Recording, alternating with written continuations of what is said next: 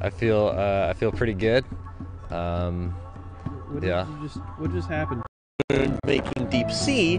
and the granularities of your voice, such as the rhythm of your breath, the timbre of your sound, and using these qualities, it will craft a journey of sound and image that is completely unique to every person who plays and to the mood they bring to the game.